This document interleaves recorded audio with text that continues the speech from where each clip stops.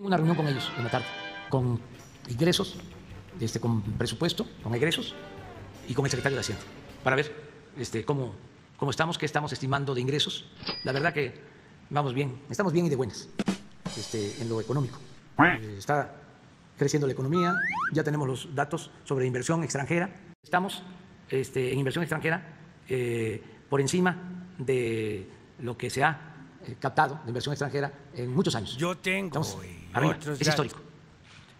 Y pues inversión es empleos, y empleos es bienestar, y bienestar es paz, es tranquilidad. Entonces vamos bien. De todas formas, hoy vamos a decidir sobre los lineamientos básicos para ley de ingreso, que adelanto, no van a haber aumentos de impuestos, ni van a haber gasolinazos, y eh, presupuesto. Las dos cosas. Ya les vamos a informar. ¿Y estaría aquí el secretario antes de que se presente al Congreso el Sí, paquete? sí, hace falta, sí. Yo voy a informar, ¿no? El día primero. ¿Cómo va a ser el, el informe? Aquí, porque no podemos hacerlo de otra manera, pero el día primero informo. Gracias.